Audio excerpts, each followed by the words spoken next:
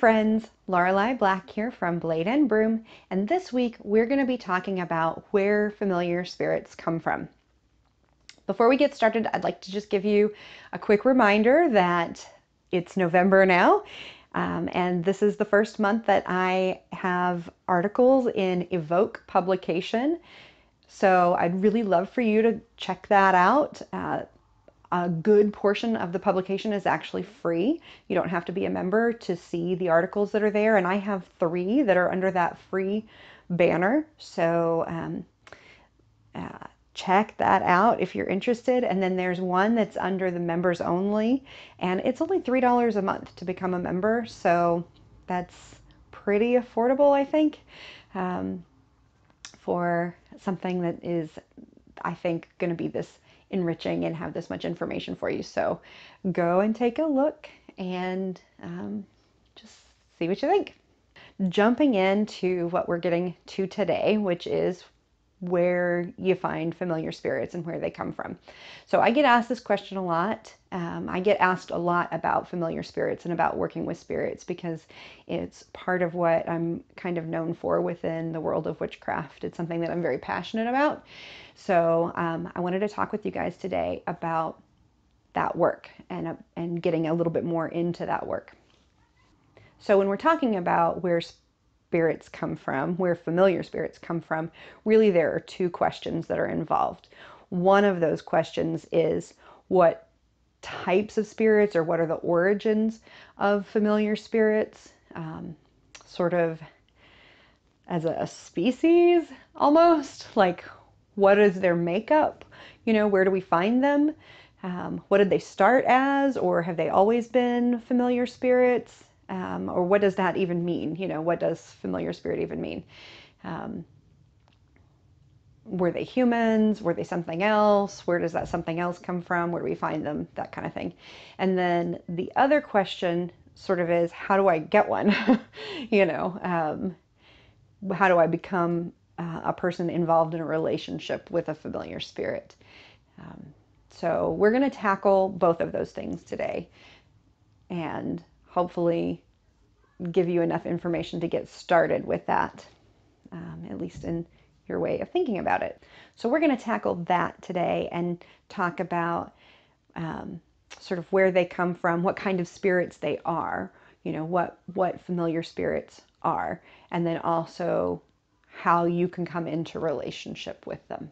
So the question of the origins of familiar spirits, like where you find them in the spiritual world, where you find them in the world around you, is kind of a tricky one in the sense that um, there's uh, not always a lot of agreement about that among people who work with spirits in general. And also, it kind of depends a little bit in terms of the words that you use to describe the spirits. It depends a little bit on your cultural background and the tradition with which you're working. You might just be referring to those spirits as spirits. Or you might come to know your familiar spirit as a jinn or as um, a daemon or a demon. Um, your pronunciation of that word may vary, but the word demon actually comes from the Greek word daemon, which just literally meant spirit. The way the word angel came from the word angelos and just meant messenger. Um, it didn't necessarily mean a celestial being sent from God in heaven in the Christian context. It just meant um, it just meant messenger. In fact, the word angelos was used you know, to refer to human people who delivered messages. Um, a spiritual messenger was also called an angelos um, and could be, a, would be a daemon in that sense. So um, you could have somebody who was both. You could have a spirit who was an angelos. Deities were sometimes referred to with this word daemon. It didn't uh, daimon, um, which we then took to mean demon, and it didn't have this negative context in its original usage. It wasn't until much later when the church was trying to um, negate and erase and demonize the gods and the spirits of other religions in order to convert um, the pagans and the polytheists and the people who were practitioners of the folk religions, um, you know, throughout Europe, throughout the Mediterranean, throughout the Middle East, that they that they demonized the spirits, that they demonized the gods of those peoples. And so what we see a lot of times in the, the lists of demons, in the lists of jinn, in the lists of um, even in the lists of fairies and the lists of elves in other cultures are actually land spirits that were very well known. We see lists of um, uh, included in these lists, we see gods and goddesses, we see um, ancestral entities, we see legendary figures and heroes. Um, we see just sort of them grabbing all types of people and saying, all of these people, you know, all of these spiritual guides, all of these spirits that you honor, those are all demons. Those are all um, something else. And so within those cultures, sometimes they get then put under the heading of the fairies or the elves or the jinn or the daemons. And cross culturally, those might actually be referring to very similar types of spirits who are also at the same time very different types of spirits because they might be elemental beings, they might be ancestral beings, they might be heroic people that actually existed or were mixed with legends that had been told and expanded, um, but maybe were based on a real person at one point. They might be more mythic characters than that. Um, but then have this sort of egregore energy around them where they expanded um, and are actually something different now in spirit than they were in life, if that makes sense. Um, it makes sense to me. It makes sense to a lot of people. It might not make sense to you yet, but stick with it and it might eventually. Um, so that's where we're seeing a lot of these different names for very similar concepts being used. And a familiar spirit can be any of those. It can come from any of that and others too. It might be, like I said, it might be a very nature based spirit, a spirit of place, for instance, or it might be um, a tree spirit or an animal type spirit. Or it might be a spirit that takes that shape for a while in order to communicate with you or in order to reveal itself to you. So there's a lot of lore around the concept of a particular spirit, one spirit, speaking with a witch, but coming to them in the guise of, for instance, a cat on one occasion and um, a human, maybe uh, a young girl on another occasion, and then an imp on another occasion, but the witch being fully cognizant that it's the same spirit every time, but they just take three different shapes when they come. So your familiar may appear to you in different guises when you see them. So that's something that can happen.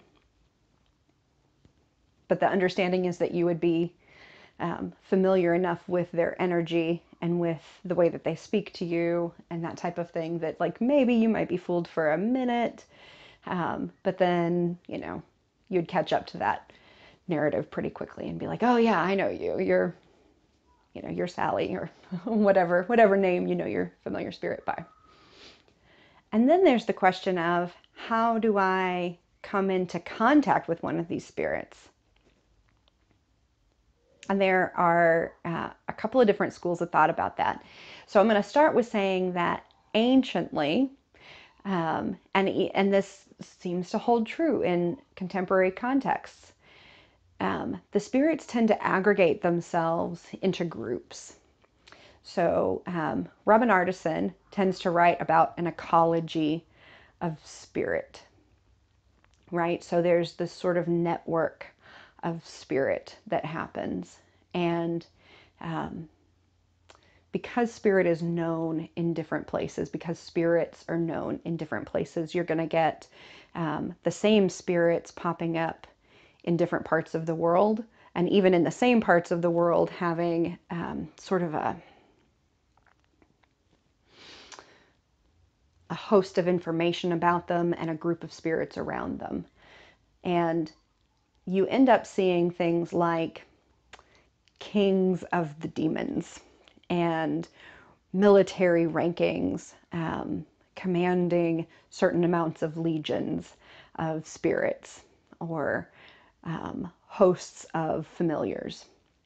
And in the Goetia, the Lesser Key of Solomon, you actually see um, lots of different rankings. So, and they always use male terms, which is a little irritating, but um, it was a product of its time, I suppose. And there are a lot of current writings where people are using other terminologies. Um, instead of just king, you'll see king or queen, depending on if the spirit presents in a, in a feminine way instead of a masculine way. And even more recent, you're seeing um, monarch or um, they and them for more gender neutral terms for those spirits that, that don't present um, really in a, in, a, in a binary way.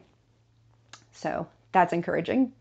Um, but moving on, you'll see things like king, um, prince, duke, um, marquis, that type of thing in terms of uh, letting you know sort of where they stand within these rankings. And it also lets you know um, there's actually planetary information that's embedded within all of that to sort of um, clue you into what planet they're aligned with um, in astrological terms. So that's there.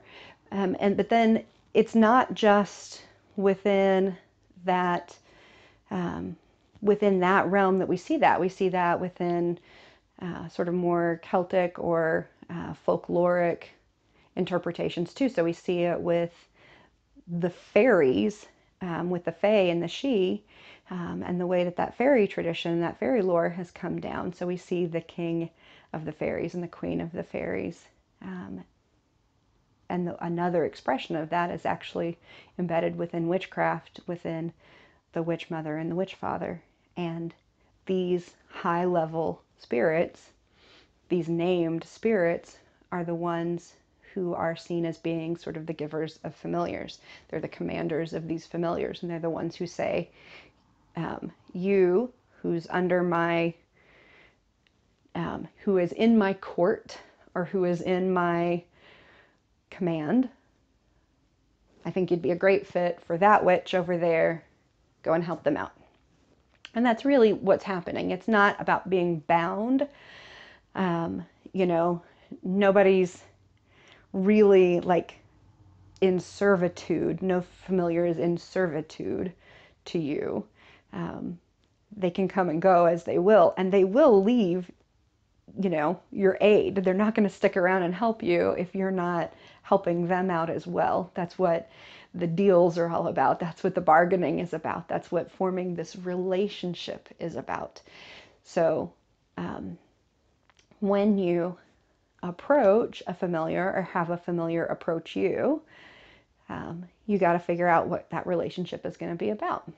And so that's the next step, really. So you understand that there is um, there is kind of within the ranks of the spirit world. There is there are ranks, right? So there are some spirits that are these big, very well known spirits, like um, you know, they just have this sort of gravity to them, this mass to them. And um, we can approach them if we're interested in working with a type of spirit, uh, maybe a spirit that can get X, Y, or Z job done.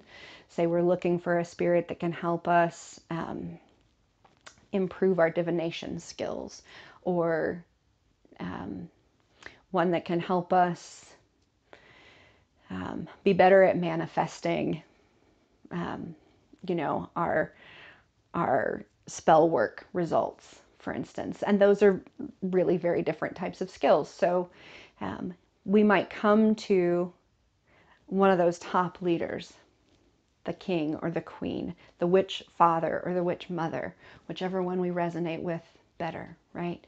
Um, so we might come to one of those top level spirits, one of those top level entities, and say, hey, um, I will make you this offering if you could send me somebody to help me with this task. And then, um, if they're amenable to the thing that you're offering, in theory, they're going to send somebody your way. Um, another way that that could work is you just start noticing that somebody, you know, a familiar, a spirit is showing up. You start catching the signs that there's somebody on your periphery. So um, that might happen because you're starting to dream about them. That might happen because you're starting to have um, things in your vision. Um, there's any number of things that might happen to let you know about that. Um, and I would be very interested to see some dialogue in the comments about what's been happening for some of you that might be going on with that. I know for me, it's often through dreams. It's through the dreamscape that that happens, and a lot of witch work does end up happening that way. Our dreams are very evocative in terms of that type of thing, um, which again bears out in the folklore. Um, that that that happens for us, right? So. Um, dreams and through things like waking dreams, like um, meditative space, trance space, that type of working. Um, that we come into contact with spirits. In terms of the way the the bargain or the compact works out, you know, we make one, we often make one or need to make one in order to have a spirit come to us. You know, we approach um, a named spirit um, in order to have that happen. And then we make another one with the actual familiar that comes to us. And we might have multiples of those familiar spirits. We might have many multiples of familiar spirits. You know, just like you can have more than one friend out in the physical world, you can have more than one spiritual friend too. So, you know, you might have lots of familiar spirits over time. And um, those individual compacts are going to look different from one spirit to the next because they want different things from you. And it might um, take a little bit of figuring out and finagling to, to figure out what it is that they want. It might take you making offers and seeing if they're interested. Um, and you might have to use some divination to figure that out or um, or again sort of go into the dreamscape to figure that out. Um, there are lots of different ways to do that. And we might talk more in another video about how to, in fact, we will. We will definitely talk more in another video about how to communicate with spirits because that is a big topic and deserves its own space.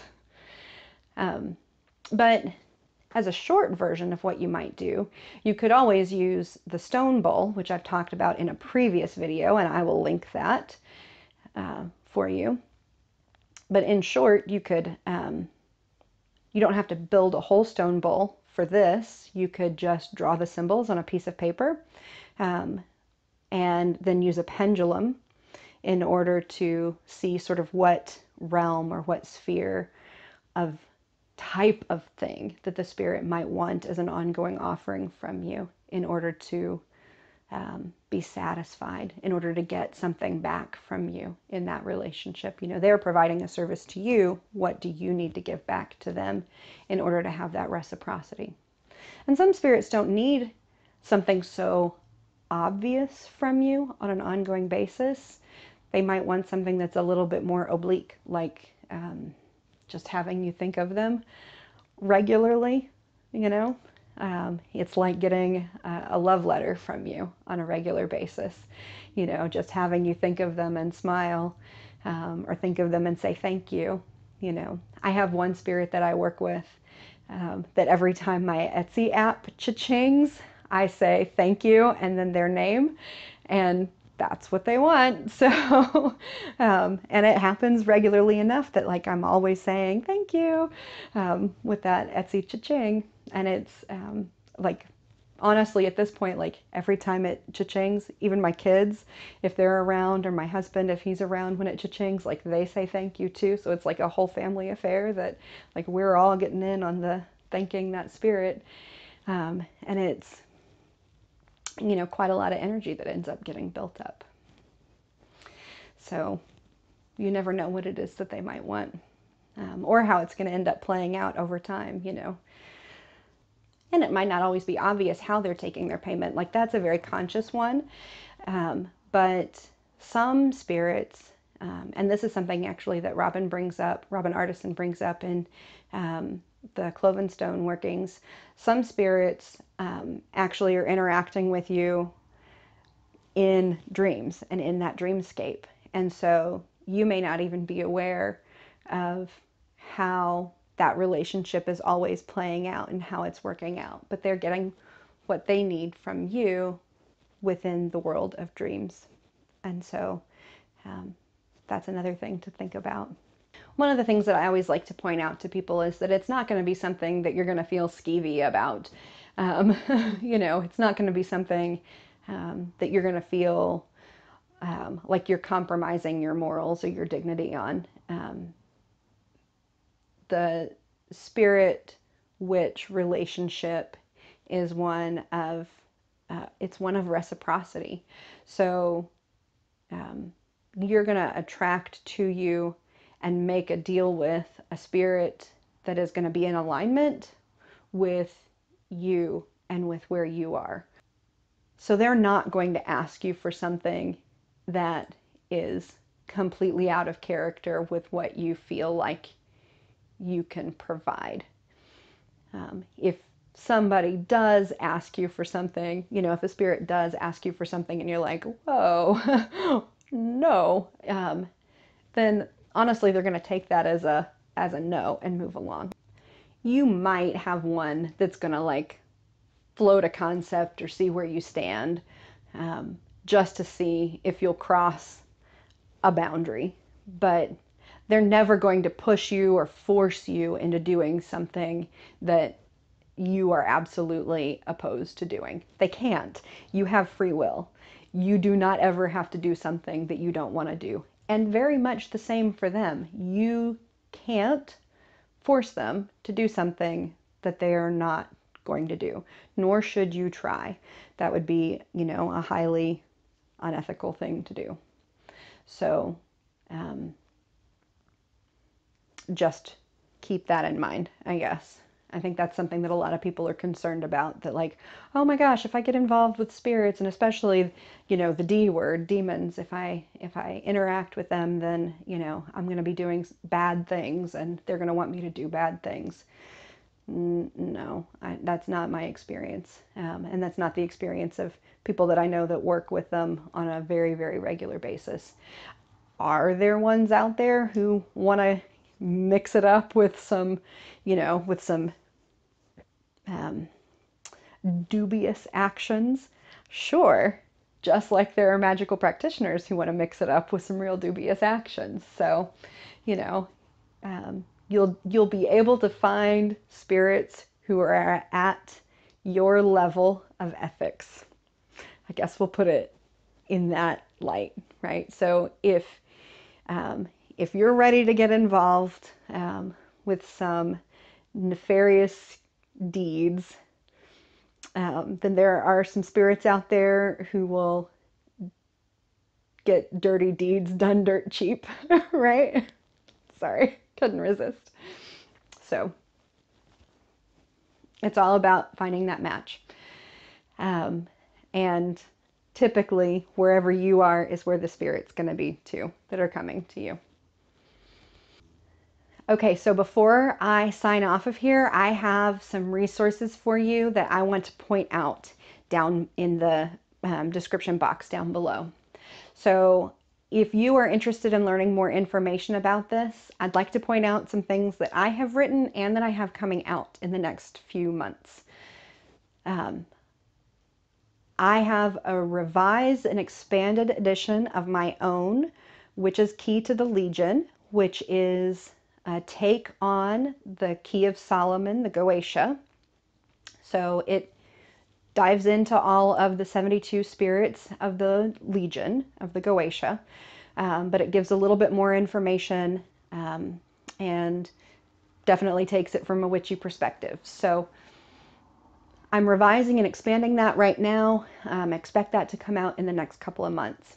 I am also accepting submissions through my publishing house for the Witch's Key to Goetic Familiars. So if you are a person that's working with Goetic Familiars right now, please consider uh, submitting a piece, whether that's art, ritual, um, an essay, poetry, whatever you got. I would be really interested in having your experiences included in that upcoming work. We're accepting submissions through March. So um, that link for submissions is down below as well. And I'm also working on a piece called The Witch's Key to the Unseen, which is going to be a broader work just about working with spirits in general, about all kinds of spirits. Like I said, I'm very passionate about this. Right now in my Etsy shop, you can get um, BOS pages related to spirit conjuration and the Legion, that uh, 72 spirits of the Key of Solomon. So if you're interested in adding those to your Book of Shadows, I have PDFs for you, and those links are down below as well.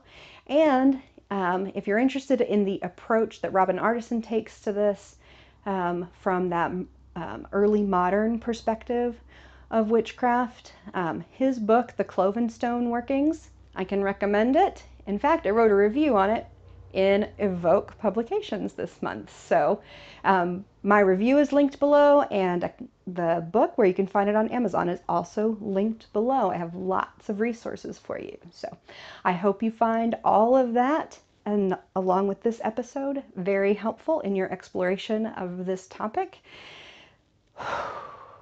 And I will see you guys next Monday at noon. And in the meantime, like, share, subscribe, comment. Let me know what kinds of things you guys are doing with familiars.